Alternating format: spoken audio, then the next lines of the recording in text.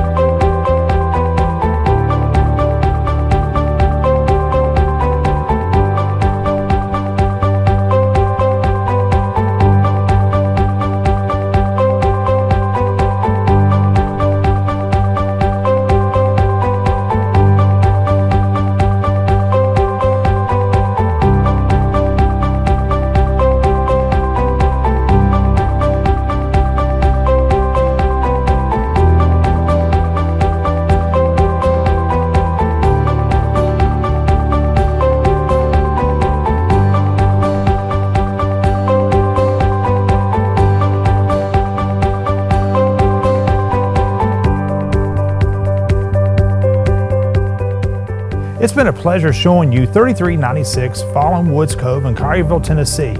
If you want to set up a private showing, please contact me, Jason Gaia, at area code 901-751-4357 or send me an email to jason at jasongaiateam.com. Thank you, and I look forward to hearing from you soon.